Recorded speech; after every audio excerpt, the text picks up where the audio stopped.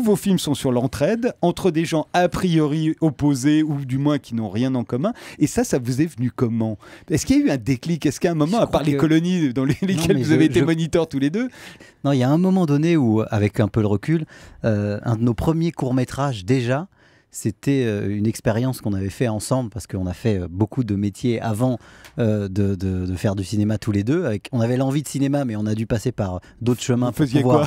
Bah, On avait fait serveur, on a fait beaucoup, beaucoup de choses. On a notamment, animé des mariages. On a animé des mariages, on a fait beaucoup de choses. D'ailleurs, on le fait toujours si vous voulez.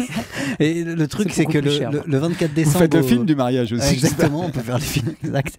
Le 24 décembre au soir, on faisait les Pères Noël chez des gens. Et on, on prenait des bandes de potes. C'est Eric qui avait, qui avait démarré ça. Et on se retrouvait à 20 à partir dans Paris et en banlieue pour faire le Père Noël euh, chez les gens. Quoi. Donc on apprenait les lettres par cœur et tout. Et ça nous a donné l'idée de faire un court métrage.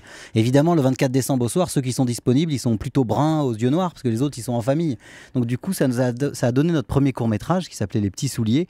Et déjà, ça parlait de ça. Il y avait quelque chose de social. Ils partageaient aussi euh, quelque chose ensemble. Euh, et ça, a démarré. ce déclic vient peut-être de ce film-là.